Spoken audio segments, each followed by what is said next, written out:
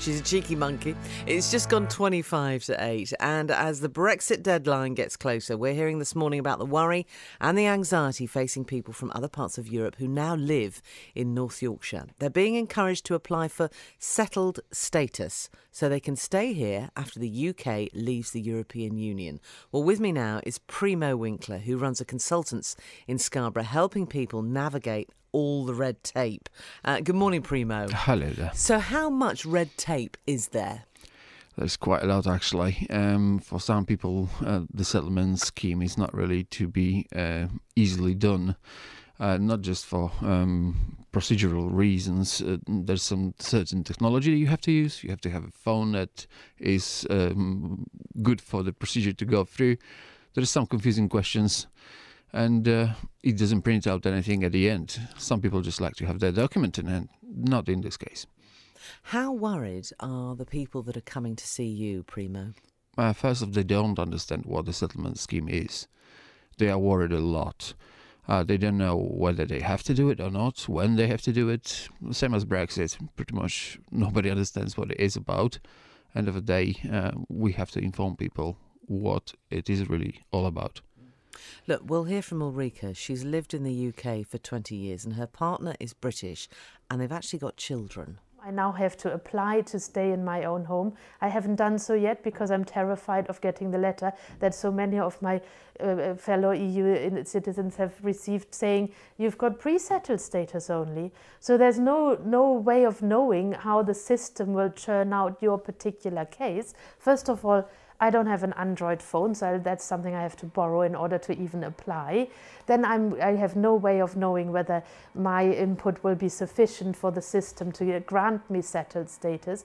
And I have enough uncertainty and worry at the moment. I don't want to add a black and white letter that says you can stay till 2024. Good luck. That is Ulrika. Now, look, she would rather not apply because she doesn't want to know the the 2024 pre-settled status if that would be the case with her what should she do Primo? i don't believe that would be a good solution for this lady here. Um, some people are getting the settlement uh, status for the whole life indefinite. It's it doesn't have any limits um, if you'd like i can show you some because we printed it out for people. In the case of this lady i believe that for the sake of her stay here and for the sake of the children i would do it I know that is causing some trouble, but there is also help. You know, we do that too. Yes. She has children. Yes. Um, I believe her partner is British. So would that? She's not born here.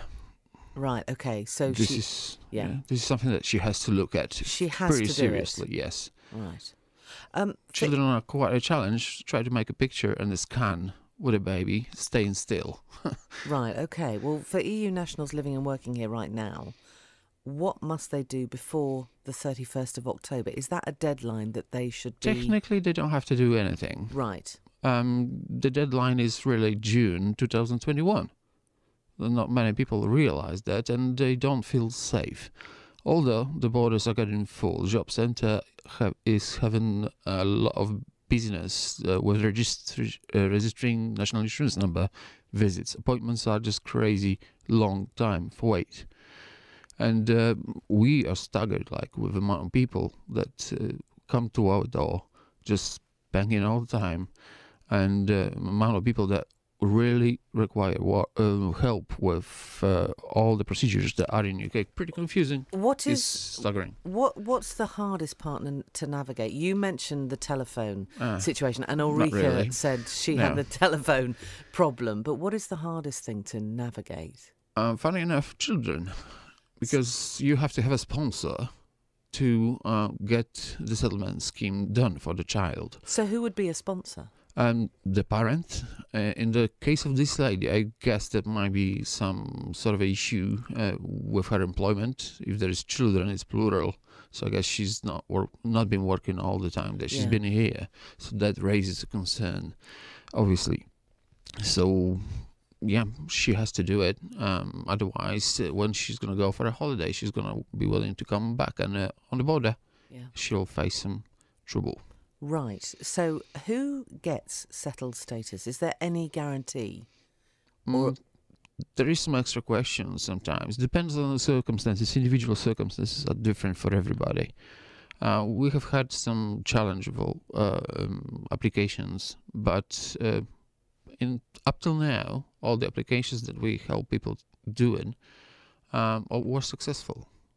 There was no rejections. Well, Nothing is, to be afraid of, really. Yeah, you see, now they do say knowledge is power. Yes, and, it is. and- and- Information is a key. yeah, and Ulrika at the moment is avoiding that that situation. Than glad to come and help. Oh, look, Primo, thank you so much No for coming to all. see us this morning. I really Pleasure, appreciate it. Pleasure. Uh, Primo Winkler there, he runs a consultancy in Scarborough helping people navigate that red tape. Um, you're listening to Georgey at Breakfast. If you've got any worries and we can put you in touch with some people, then please do give us a call and uh, I'm sure Primo will be able to help you out. 0800 treble one 48 49 when you call me. Uh, let's get some travel from David James and then some weather from Lisa. Good morning.